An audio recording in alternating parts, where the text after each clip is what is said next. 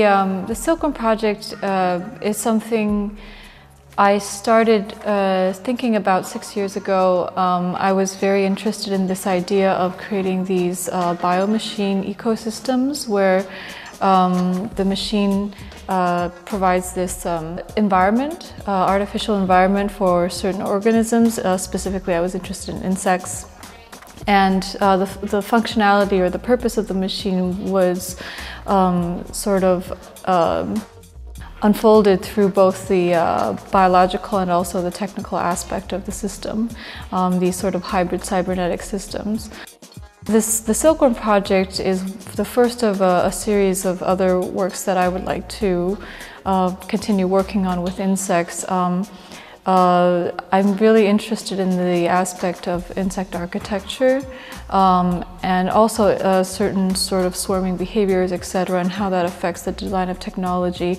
Um, uh, behavioral scientists, when they're researching insect building or animal building in general, um, uh, one aspect of it that's very interesting to me is that it, it, it's sort of these models of uh, intelligence through the study of their building behavior and how they perceive space and, and all that kind of stuff.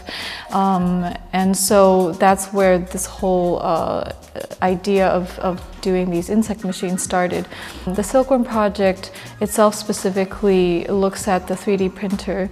Um, in my case, um, when I was going to school uh, seven, eight years ago, I was first introduced to the uh, additive DIY 3D printer and um, I thought maybe I could create a sort of biological version of that um, that uh, would, would sort of print silk straight from the organism's mouth and sort of cut out the entire uh, sericulture industry um, and processes. Not that this is a this is for the purpose of, of uh, like functional. It's more exploratory um, and how to create that kind of a system where the silkworm acts as both a um, an input and a, an, and an output, or the silk acts as an output. The the series that you see here uh, has mainly three chapters. I started with the first chapter, which is machine one. Um, and uh, when I was first starting to research the organism, uh, I was designing the machine system from a very um, anthropocentric point of view. Um, I referenced a lot of uh, technical history, the sort of complicated entanglement of um, how computer logic uh, evolved based on uh, the logic of the Jacquard loom. Um, and, um, and so in that case, uh, the organization of textiles and, and fibers uh, informed how later data was organized. And, and in my first uh, uh, explorations, I wanted to kind of reverse that process um, and use the, the, logic of technology to influence um, the silkworm, which is the producer of silk fibers.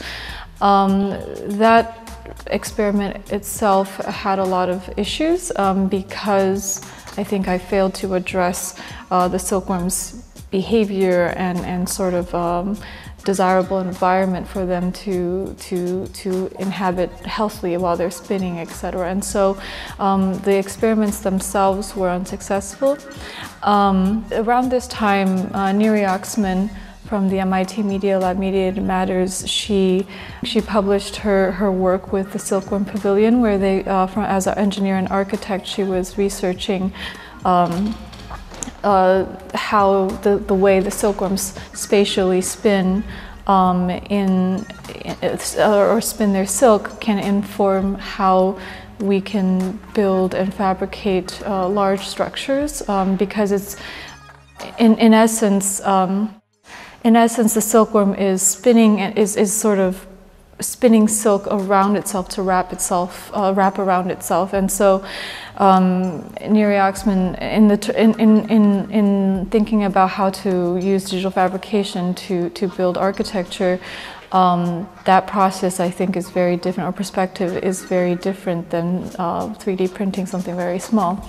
And so that really inspired me to start researching um, the spinning behavior itself of silkworms and how that reflects uh, how they perceive space.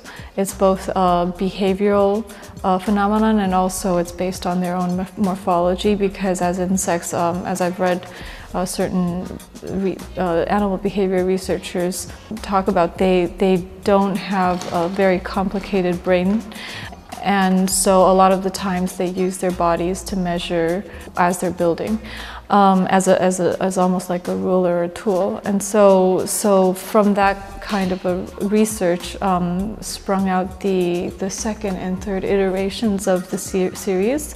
Um, of machines, and I think the third, uh, the third machine itself. Um, so, so where I think where the um, I think starting from from the second iteration of the machine, I was trying to really build uh, a machine around the silkworm um, behavior itself and uh, where, the, where the machine would um, almost reflect this sort of perceptual blind spot um, of the silkworm's uh, spatial perception. And so with the final machine, it's an early prototype. It's not ultimately at the point where I want it to be. Um, I would like to create this sort of suspended um, chamber for spinning where the, the silkworm would be in that chamber and it could rotate around. And so it, it's a, right now it's an early step towards that direction. But I would like to try to combine my, my previous research of both uh, the sort of machine aspect and, and computational aspect of, of system technology with uh, research on the perception and, and worldview uh, of the silkworm and combine that into a more equally, equally hybrid system logic.